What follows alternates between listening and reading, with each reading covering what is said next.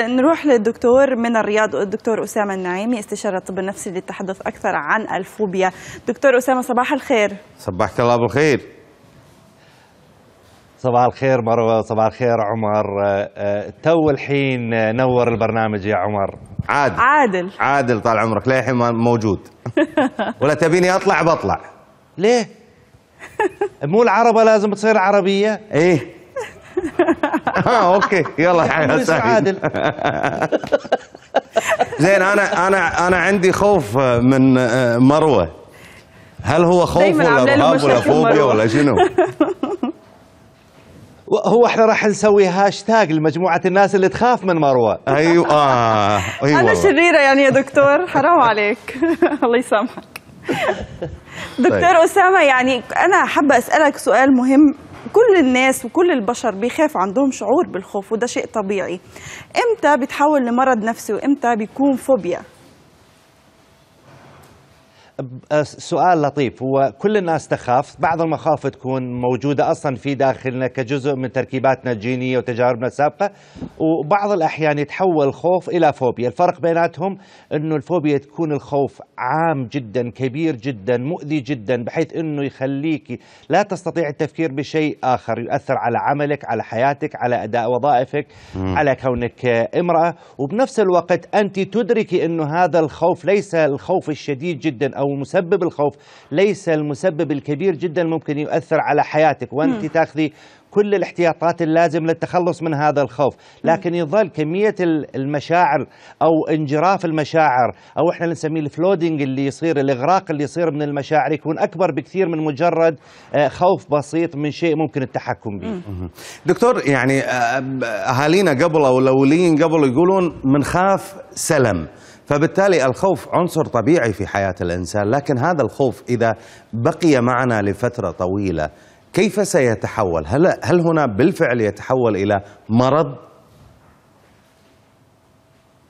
نعم أكيد بالتأكيد يصير مرض. آه، عندك ثلاث أسباب لظهور ال- الفوبيا. أولا تجربتنا الشخصية وخلينا دائما نركز على مثال واحد ونقيس عليه. اللي؟ مثلا إذا دخلت إلى اسم الله عليك إذا دخل أحدهم إلى غرفة ومسك الفيش وتعرض إلى لسعة كهربائية يصير يخاف من الفياش وبعد شوي يصير نوع من التعميم إنه الفيش اللي بهذه الغرفة يصير الفياش اللي كلها نعم. يصير من كل الكهرباء يصير من كل الغرف ويتعمم على أشياء أكثر. فهذه تجربة شخصية. الشيء الثاني هو ما يراه أمامه يعني دا- داخل أنت مع أحد معين إلى نفس الغرفة ويمسك هو الفيش ويتعرض إلى لسعة كهربائية تصير أنت كمان تخاف من هذه الأشياء صحيح. الشيء ال ال يعني نقول مع الأسف الأسوأ هو ما يصلنا من الآخرين اللي هو آه، آه، دير بالك تدخل إلى هذيك الغرفة لأنه فلان دخل فيها ومسك الفيش وتعرض إلى كهرباء وأرجوك قيس على هذه بموازاة القصص اللي نسمعها من بعض أولياء الأمور اللي يعطوها إلى أطفالهم إلى أبنائهم وبناتهم كنوع من النصائح اللي يعتقدوا أن هم يحمون أطفالهم بها آه، خلي بالك من الجماعة خلي بالك من الناس دير بالك كذا. وطبعا إحنا الأطباء أكثر ناس متضررين لأنه الأهالي يربطوا بيننا وبين الألم. فيقولوا له للطفل إذا ما تسمع الكلام بوديك للدكتور وبيعطيك إبرة إيه. وبيخلع لك سنك وبيسوي لك كذا وبيخليك عنده. وكل هذه يربي عند الطفل بمرحلة مبكرة بين عمر ثلاثة إلى سبع سنوات خوف أيوة. من أشياء قد يكون هو ما له دخل بها طب دكتور عرفنا أكثر عن أنواع الفوبيا وأكثرها انتشارا بالنسبة آه، لأي شخص يعني أكثر حاجة منتشرة بين الناس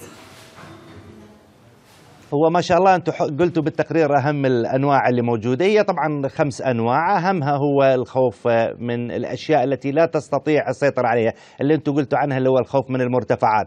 طبعا الفكرة الخوف من المرتفعات انه ما في شيء تمسك فيه عشان تعرف الفرق بين ال- الواقع والخيال ال- ال- السيطرة وعدم السيطرة. لذلك الناس اللي يطلعوا في الطيارة يصير عندهم آه، نوعين من الخوف مثل ما قلت الخوف من المرتفعات والخوف البقاء في مكانات مغلقة. لكن الشيء الأساسي أنه هو يفقد السيطرة أنه يشعر أنه لا يستطيع أن يغير نتيجة ما يحدث له.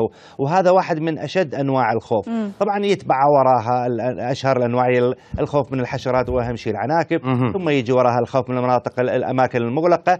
طبعا ال- كنوع من القلق اللي هو الفوبيا هي أحد أنواع القلق. طيب. وفي نوع من القلق اللي يسموه ال- ال- ال- ال- ال- الرهاب ال- المحدد اللي هو تخاف من شيء معين أو الخوف الاجتماعي أو الخوف من اللي يسموه رهاب السوق اللي هو من ضمنها اللي الخوف نعم. من الأماكن المغلقة أو الخوف من الأماكن المفتوحه طيب. دكتور آه، أسامة يعني يقولون آه، مثل ما يقولون يعني في مصر اللي يخاف من العفريت يطلع له.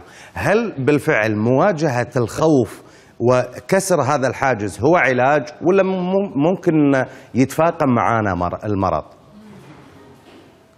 لا هو بالضبط هو اللي انت قلته هو صحيح إنه في أنواع من العلاجات. طبعا إذا تحبون نتكلم عن العلاجات إيه، بلا شك. العلاجات. العلاجات النفسية السلوكية وفي علاجات الدوائية. العلاجات السلوكية النفسية هي نوعين أساسيات لكن لها مسميات مسميات كثيرة. النوع الأول اللي أنت قلت عنه اللي هو خذوه فغلوه. اللي إيه. إحنا تعلمنا فيه السباحة. خذ ابنك وارميه في بركة السباحة وانتظر عليه لحد ما يطلع من الماء يقول بس ممكن تكون وطمنك. عكسية يا دكتور ممكن الطفل يغرق في هذه اللحظة وبالتالي يكره السباحة. وهذا اللي أنا كنت أقوله إنه مع الأسف إنه هذا سيف ذو حدين إنه أما إنه الولد خلاص يفقد آه، الخوف من ال- ال- المياه أو لا يتركز عند الخوف من المياه بحيث إنه بالمستقبل حتى دخوله الحمام يصير مشكلة. لذلك من الأساسي إنه تعده نفسيا وتفهمه إنه أنت موجود حواليه أو إنه تضع أحد الكبار ينتظره في بركة السباحة. وهذا اللي إحنا نسميه الإغراق الفلودنج اللي هو نوع آه، تعريض ال- الإنسان إلى كمية كبيرة من المشاعر بحيث يصير عنده نوع من فقدان الحساسية طيب والتخوف. هذا واقع ملموس ولكن اللي يخاف من الموت شلون بتعالجه. يا دكتور؟ هذا اللي يخاف من الموت لازم أول شيء تشرح له إيش هو الموت ثم تشرح له هو وجوده في الحياة إيش. في كثير ناس مثلا في اعيان في أعمار معينة لما أما إنه لما يتعرض إلى تجربة يكون فيها قريب من الموت حادث سيارة كبير أو مرض خطير أو لما يكبر في السن يبدأ يفكر إيش اللي سوى في حياته. يمكن أسهل شيء أق... أق... أسهل نصيحة تقدمها لهذول الأشخاص إنه تذكرهم اولا إنه الموت هو جزء من الحياة ثانيا إنه هم ليش خايفين من الموت. معظم الناس يخاف من الموت مو لأنه هو مقصر أو إنه هو ما يعرف إنه إيش اللي حيصير به معظمهم يحس لأنه من عمق المسؤولية اللي بيه إنه هو بيترك زوجته بيترك أولاده بيترك التزاماته ويحس بالتقصير طيب. طيب. امام الآخرين إنه هو راح يتركهم ويختفي من الصورة. شكرا لك دكتور أسامة النعيمي استشاري الطب النفسي. كنت معنا من الرياض. شكرا جزيلا. يعطيك العافية. قواك الله.